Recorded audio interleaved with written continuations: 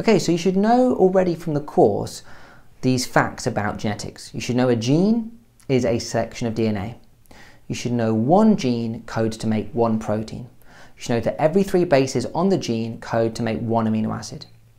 You should know that the protein could be an enzyme, a hormone, a structural protein, carrier protein, antibodies, all sorts of things. Proteins build everything that you need. And you should also know that the DNA code is universal. It works the same in every living thing.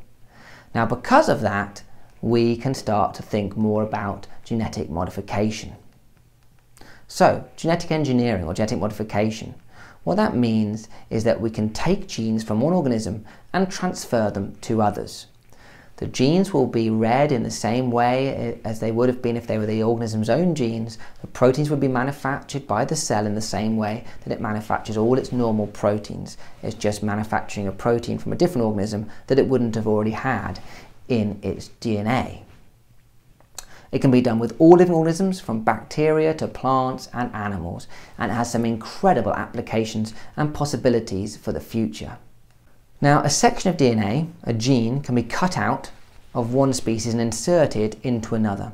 Now this new DNA is called recombinant DNA because it's been recombined. And the organism that receives this new recombinant DNA we refer to as a transgenic organism.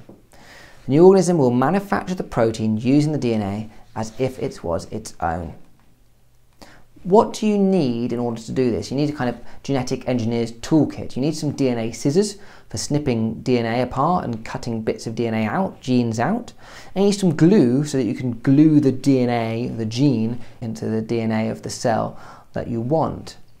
Now, obviously, we don't call them DNA scissors and glue, they have special names. DNA scissors are known as restriction enzymes, they cut DNA at specific points, and DNA glue are actually called DNA ligases that join cut ends of DNA molecules together.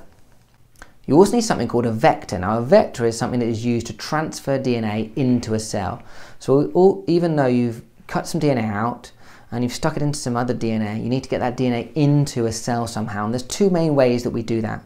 Either we use something called a plasmid, which is a little loop of DNA found inside bacteria. They're easy to remove, and bacteria will take them back in very easily. So you can use them to get DNA into a bacteria. Or we might use viruses.